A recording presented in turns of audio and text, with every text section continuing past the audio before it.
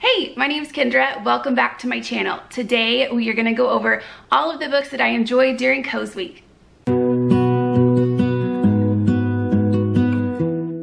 If you're new to my channel, be sure and check out my last few videos. I did vlog during the week of CozWeek, so I have vlogs one through three waiting for you if you've not checked them out yet. I had a lot of fun sharing the week with you.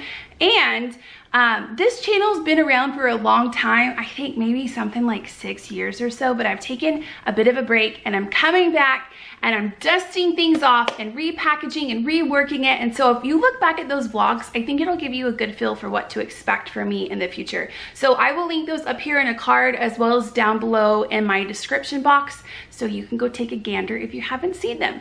Let's get on with the books. Up first, I wanted to talk about Daisies for Innocence by Bailey Cattrell. This is a really fun story. I enjoyed it. I did think it was a teeny bit slow, but I think it has really good bones for a good series.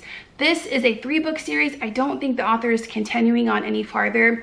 But in this book, we meet Ellie, who is our protagonist. She's recently divorced and lives in a teeny tiny town. And guess what? Her husband lives in the teeny tiny town with her. All the residents know all of their business. They didn't end on the best terms. They don't have like a friendship or anything like that. It's a little bit awkward for them. Um, and they are both trying to move on and start a new life. Ellie has moved into a tiny home, which I think is so fun and awesome. She has a cat and a little corgi named Dash. She also owns and runs a store called Sense and Nonsense. This is one of my favorite things about the book. I thought this was really cool and unique how they did this.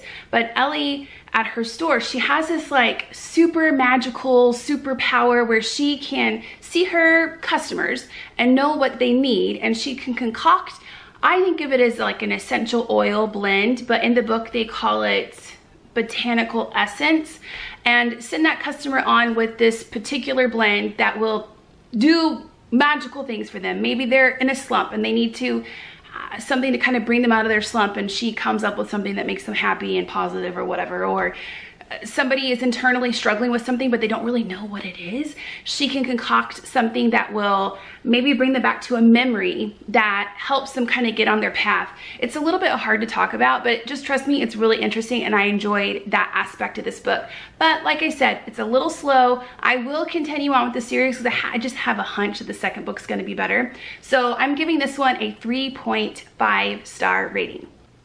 The next book that I finished during the readathon was And Then There Were Crumbs. This is the first book in a new series. I listened to it on audio, and if you happen to have the Audible Escapes package via Audible, they offer this one for free. And I did really enjoy listening to this one on audio. But I will say at the beginning of this one, I wasn't all that much in love with it. And then all of a sudden, oh, all the stars aligned and I fell hook, line, and sinker for this book. There's a lot of things that happened during this read that I haven't come across yet in a cozy mystery and I was there for it. So in this book, we get to meet Kate. Kate has recently broke things off from her fiance. She's lost her job. She's moved to this new town and she's just looking for a fresh start. She is a baker and she's hoping to find a bakery where she can bake her delicious cookies. She comes across this older gentleman who is a bit of a curmudgeon, I would say, and he is well known for his sourdough. So he agrees to let her come on and help him in this bakery of his where people come far and wide to enjoy his awesome sourdough bread. And then our story kicks off. We get to follow along as Kate meets buddies in the town, as she comes across Oliver, who is her cozy companion. Her relationship with Oliver is so wonderful. Oliver stole the show for me with this read. And if you've read this or you do read it after hearing this, please come back and let's chat about Oliver. I just think the whole take on, I don't want to take the joy away from this part of the book from you, so I'm not going to go into too much of a detail on this, but once you read it, you'll know what I'm talking about. And I just love how the author told Oliver's story. This was a great read. I gave it five stars and I'm continuing on with the series. I don't give out five star ratings very often. I give almost all of the Bake Shop Mystery series by Ellie Alexander five stars. I love that series. It's one of my favorites. But I have since ordered a hard copy of the first book because I wanted to have it in my library because I loved it so much. And I have picked up the second book, uh, which is called Sugar and Vice, and I can't wait to start on this one. The next book is Apple Cider Slaying by Julie Anne Lindsey. I loved this book. I loved Julianne Ann Lindsey's writing style, the characters she created. I loved the setting. So in this book, we get to meet Winnie. Winnie lives alongside her grandma on their family's apple orchard, and they're doing great. They love it. The only problem is they have a hard time bringing in funds when it's out of the prime apple picking season. But Winnie believes if she opens up a gourmet apple cider shop slash cafe that they can make money year round by renting out the barn for weddings and gatherings and serving up their, their good food and their apple cider. So we get to go alongside Granny and Winnie as they try so hard to get a loan so that they can make this apple cider cafe a reality. And I loved every second of it. I gave this book five stars. I really enjoyed it and I will be going on to the second one, which I've already purchased. Where is it? Where is it? Right here. Pulp Fiction. This is another one I'm really excited to dig into. The last book that I finished during the readathon it's one of those books that I call a heart-hugging book, you know, a heart-hugging book. You just love the storyline and the characters so much, it's so hard to put it down whenever you close the pages. And so you just, ah, uh, you just need to sit with it for a second and love on it and look back through it before you can just set it down and walk away. And that is the Bake Shop Mystery Series for me through and through. And this is the fourth book in the series written by Ellie Alexander, Caught Bread Handed. I feel like anytime I talk about this series, my face just, it just lights up. I, I can feel it from inside. I love following alongside Jules and her mom and her coffee shop and all of her baked goods and Carlos and the town and all the characters.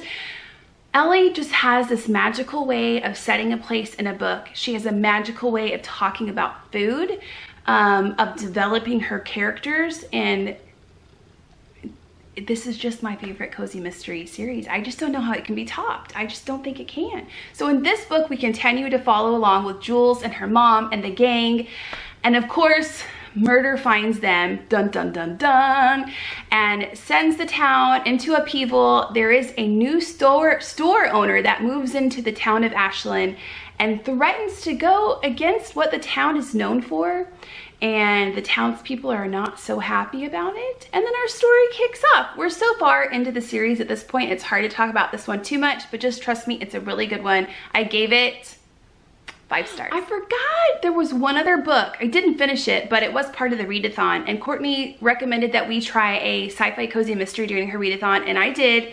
Well, I tried it, but I ended up DNFing it. I think it was called Space Murder. I'll put it up here on the screen somewhere. It was okay. Uh, in a, in a way that like you kind of are thinking it's cool, but you kind of want to DNF it. So I did. I was enjoying these other reads too much, so I just drop it like it's hot, dropped it like it's hot, and I didn't think twice. So maybe it was would have been good if I stuck with it. I don't know. We will we'll never know because I'll probably never go back to it. we did it. We made it to the end. I feel good. Do you feel good? I feel good. I'm a little sweaty. Um, that was a little bit harder than I thought it was gonna be, but we did it. Y'all, oh my goodness. Okay, it's kind of hard to talk about books and it's kind of hard to talk about cozy mysteries because you don't want to give too much away. And yeah, so if you're new, I would love to have you subscribe and hang out. My next video, I'll kind of be reintroducing myself, letting you know what you can expect from me in the future. I've been around for a long time, but I'm changing things up a little bit after taking a break. So hang out for that. Also, I've been shopping a ton on eBay for books, a lot of cozy mysteries. So I'll have a book haul and a cozy mystery haul coming up. So I hope that you hit that subscribe button. Subscribe. I'm also from the South, if you didn't know that.